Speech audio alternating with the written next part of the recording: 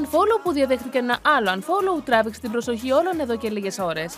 Η Σοφία Φιρού, η οδηγός του αυτοκίνητου στο οποίο επέβαινε ο Ηλίας Βρετό την ημέρα του ατυχήματος που είχε την καθαρά Δευτέρα, αποφάσισε σχεδόν ένα μήνα μετά να πάψει να τον ακολουθεί. Με τον ίδιο να κάνει το ίδιο λίγο αργότερα. Το γιατί παραμένει προς το παρόν απορία.